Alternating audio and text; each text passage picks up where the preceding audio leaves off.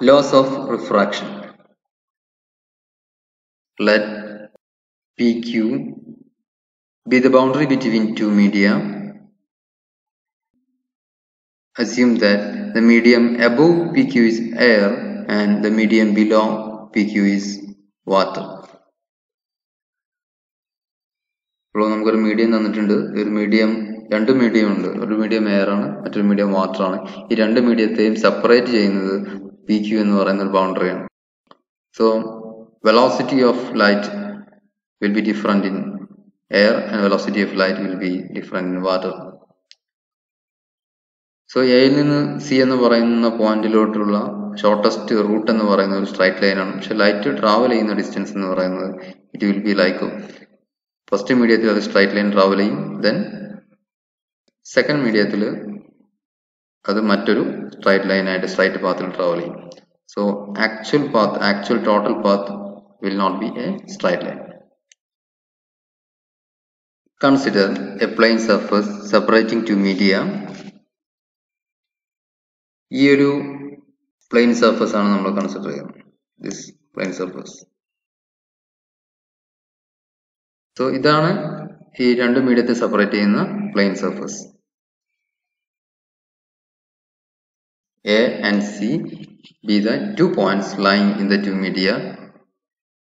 എന്ന് പറയുന്ന പോയിന്റ് ഇതാണ്. സി എന്ന് പറയുന്ന ഇത് രണ്ടും രണ്ട് മീഡിയത്തിലാണ് നമ്മളിപ്പോൾ കൺസിഡർ ചെയ്തത്. എ എന്ന് പറയുന്ന point according to our consideration is in air and C എന്ന് പറയുന്ന point is in water let K be a general point on the surface ഈ സർഫസിൽ നമ്മൾ നേരത്തെ കൺസിഡർ ചെയ്ത സർഫസിൽ ഉള്ളൊരു പോയിന്റ് ആണ് കെ അത് ജനറൽ ആയിട്ട് നമ്മൾ എടുക്കുന്ന ഒരു പോയിന്റ് ആണ്. അപ്പൊ ലൈറ്റ് ട്രാവൽ ചെയ്യുന്ന ആക്ച്വൽ പാത്തായിട്ട് നമ്മൾ കൊടുത്തിരിക്കുന്നത് എ ബി സി എന്ന് പറയുന്ന പാത്താണ് we are trying to prove that is actual path അപ്പോൾ അതിന് നമുക്ക് എക്സാക്റ്റ് ആയിട്ട് ബി എന്ന് പറയുന്ന പോയിന്റ് ആണ് എന്ന് നമുക്ക് അറിയില്ല. സോ ഫോർ ദാറ്റ് ബി എന്ന് പറയുന്ന ഈ ഒരു പോയിന്റ് അല്ലെങ്കിൽ ഈ ഒരു ബ്ലൂ കളറിൽ കൊടുത്തിരിക്കുന്ന ഈ ഒരു പാത്ത് കൺസിഡർ ചെയ്യുന്നതിന് പകരം ഒരു ജനറൽ ആയിട്ട് ഒരു പോയിന്റ് കൺസിഡർ ചെയ്യുന്നു. ആ ഒരു പോയിന്റിലൂടെയാണ് ലൈറ്റ് ട്രാവൽ ചെയ്യുന്നതെന്ന് നമ്മൾ അസ്യൂം ചെയ്യുന്നു we are assuming that light travels from A to K and then K to C so നമ്മൾ അസ്യൂം ചെയ്തിരിക്കുന്ന പാത്ത് എന്ന് പറയുന്നത് എ കെ സി എന്ന് പറയുന്ന പാത്താണ് അതിനുവേണ്ടി നമ്മൾ കൺസിഡർ ചെയ്ത ഒരു ജനറൽ പോയിന്റ് ആണ് കെ എന്ന് പറയുന്നത്. സോ അതിന്റെ coordinate is X zero Z means it's in XZ plane in XZ plane Y is zero so general point ആയതുകൊണ്ട് തന്നെ എക്സിന്റെ എക്സാക്ട് വാല്യൂ സെഡിന്റെ എക്സാക്ട് വാല്യൂ നമുക്കറിയില്ല. ഫൈൻ ഇനി മറ്റ് പോയിന്റുകൾ. എ എന്ന് പറയുന്ന ക്യാപിറ്റൽ എ എന്ന് പറയുന്ന ഇതിന്റെ coordinates zero small A zero capital A is on the axis y. So the value of x and z is 0. y ന്റെ വാല്യൂ ഇവിടെ കൊടുത്തിട്ടുണ്ട് that is small a. And capital C has the coordinate CB0. On x-axis, this distance is x. On x-axis, O to Q, the distance of Q is C. So that is C. Then on y-axis, this value is b, and c is on xy plane, so the value of z is zero. We know that the optical path length delta is equal to geometrical path length into refractive index. Fermat principle discuss ചെയ്യുന്ന സമയത്ത് നമ്മൾ discuss ചെയ്തിരുന്നു optical path length delta equal to mu into integral D L mu is the refractive index integral dl is the total geometrical path length Geometrical path length എന്നാണ് normally നമ്മൾ measure ചെയ്ത് ലഭിക്കുന്ന length അതിനെ refractive index കൊണ്ട് multiply ചെയ്ത് കഴിഞ്ഞാൽ you will get optical path length delta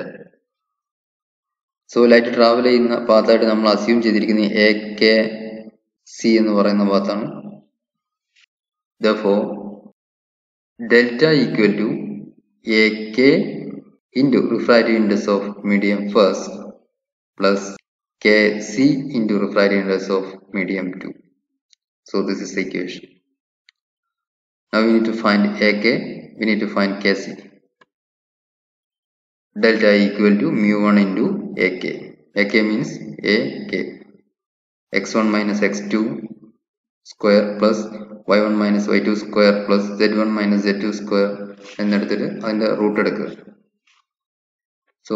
this is equal to mu1 into root of x minus 0 square plus 0 minus a square plus z minus 0 square plus mu2 into kc mu2 into root of x minus c square plus 0 minus b square plus z minus 0 square. x minus 0 square is x square. This is a square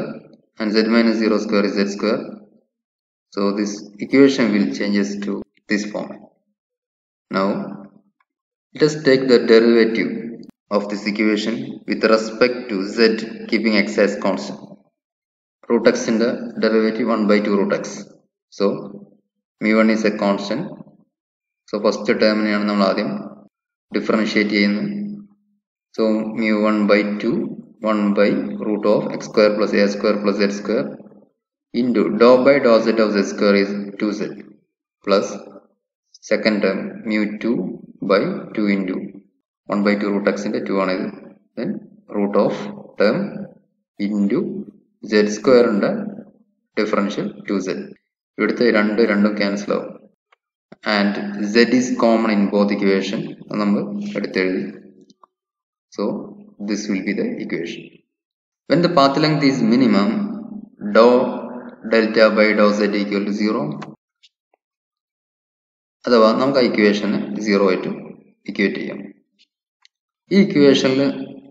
രണ്ട് term ഉണ്ട് one term is Z and second term is this the term inside bracket cannot be zero so Z must be zero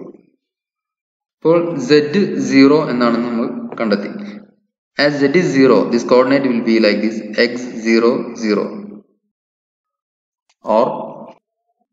since z is 0 the point k should be on x y plane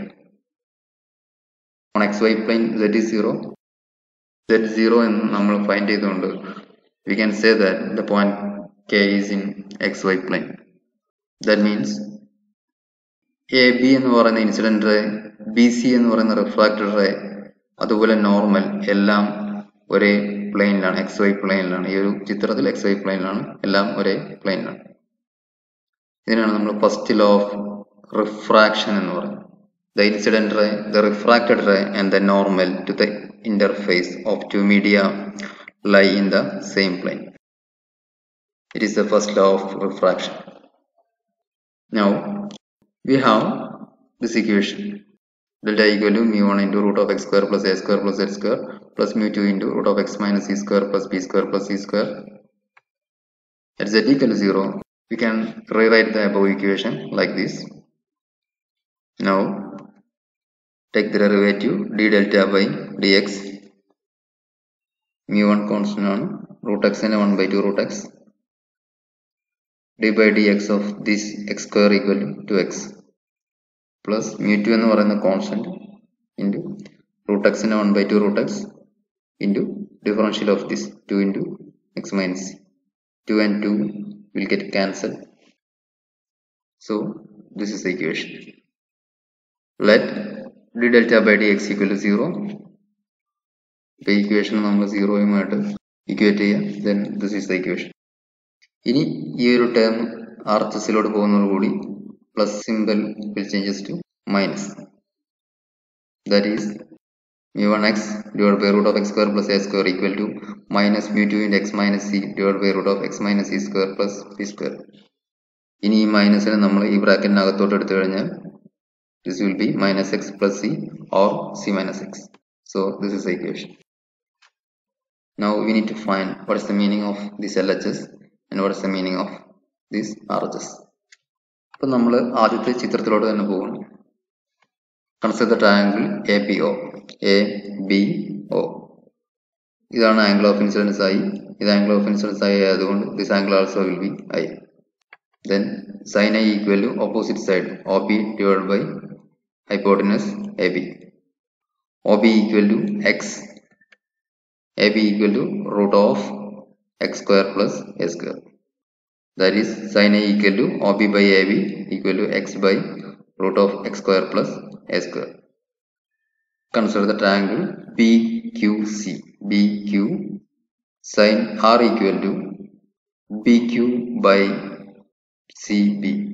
BQ equal to C minus x. CB equal to root of C minus x square plus B square. Therefore, sin R equal to C minus x by root of C minus x square plus B square. ഈ C minus X square എന്നതിനെ നമുക്ക് X minus C square എന്ന് എഴുതാം. Square ഉള്ളതുകൊണ്ട് അതിന്റെ ഡയമെൻഷനെ ഒന്നും ബാധിക്കില്ല. So we got it now ഇതാണ് നമ്മുടെ ആദ്യത്തെ ഇക്വേഷൻ ഇക്വേഷനിൽ ഈ ടേമിന്റെ ഒരു പാർട്ടാണ് this X by root of X square plus A square that's equal to sine I പിന്നെ അതിലുള്ളത് മ്യൂ വൺ എന്ന് പറയുന്ന റിഫ്രാക്റ്റീവ് ഇൻഡെക്സ് മാത്രമാണ്. ആർ എച്ച് എസിൽ C minus X by root of X minus C square plus B square എന്നതിന് sine R ആണെന്ന് നമുക്ക് മനസ്സിലായി. സോ ഇതിൽ മ്യൂ വൺ ഒഴികെയുള്ളതിനെ വിളിക്കുന്നവരാണ് സൈൻ എ എന്ന്. ഇതിൽ മ്യൂ ടു ഒഴികെയുള്ളതാണ് സൈൻ ആർ അപ്പോൾ ഈ ഇക്വേഷൻ ഈ രീതിയിൽ നമുക്ക് എഴുതാൻ സാധിക്കും. Mu one sine A equal to mu two sine R or sine I by sine R equal to mu two by mu one it is called Snell's law. So, what is Snell's law? The ratio of sine of angle of incidence to the sine of angle of refraction is a constant. That is sin i by sin r equal to mu 2 by mu 1.